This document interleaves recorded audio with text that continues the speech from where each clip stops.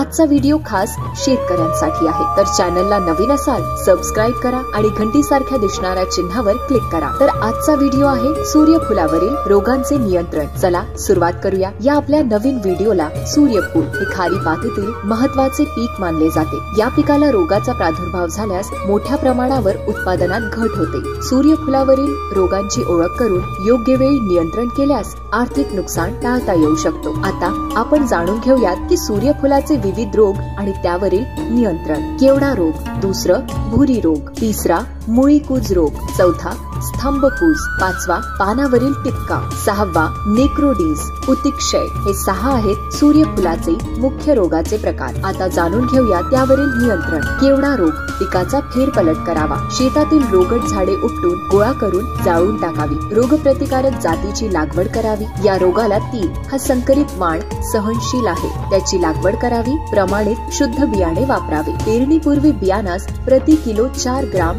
मेटलॉक्झिल रिक्टोमिल याप्रमाणे बुरशीनाशकाची वीज प्रक्रिया करावी. रोगाची लक्षणे दिसताच चाळीस ग्राम विक्टोमिल प्रति दहा लिटर पाण्यात मिसळून फवारणी करावी. दुसरा भुरी रोग. या रोगाच्या नियंत्रणासाठी तीनशे मेष गंधकाची भुकटी हेक्टरी वीस किलो. या प्रमाणात पिकावर धूळ रावी किंवा पाण्यात मिसळणार गंधक पंचवीस ग्राम दहा लिटर पाण्यात मिसळून फवारावे. रोगप्रतिबंधक जातीची लागवडींसाठी निवड करावी.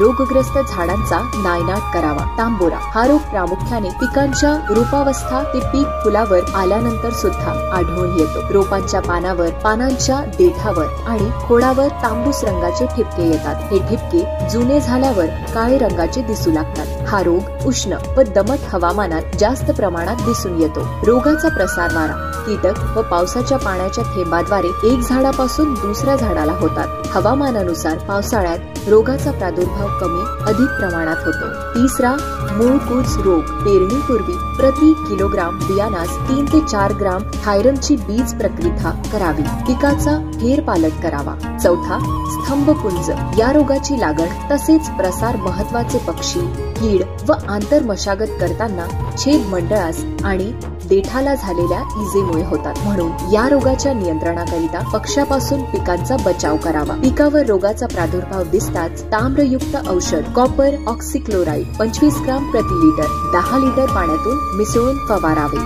चला तर मित्रांनो आता जरी निरोप घेत असली तरी आपण भेटूया नवीन व्हिडिओमध्ये आणि पाहत रहा तुमचा आवडता